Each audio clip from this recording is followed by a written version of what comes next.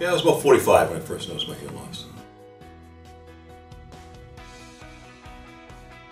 Well, at, at first it really didn't bother me too much, I just because I was a little bit older and that'd be about it.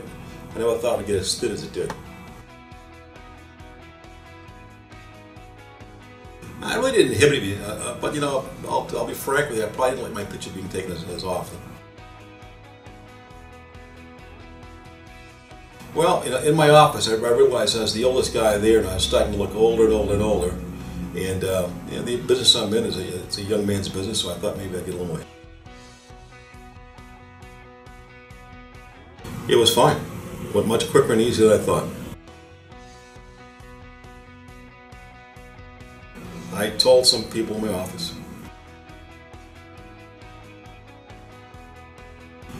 I'm just amazed at how many people come up to me and say, you get a great head of hair.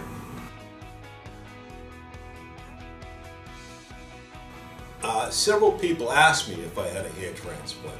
As a matter of fact, when it first took place, I, you know, to be frank, I lied a couple of times. I said no, but then I went back and told them. I said, yeah, I said, you know what, I lied. I'm sorry, I lied to you the first time. I got my hair transplant. And they were amazed.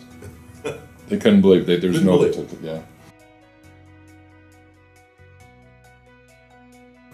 I have recommended Dr. Bolton to others, uh, and I, I'll continue to recommend Dr. Bolton to others. Thanks a lot, Doc. I feel like a million bucks. You know, I, I'd recommend anybody who's uh, who's losing their hair and is looking for an alt- a safe alternative. This is the only way to go.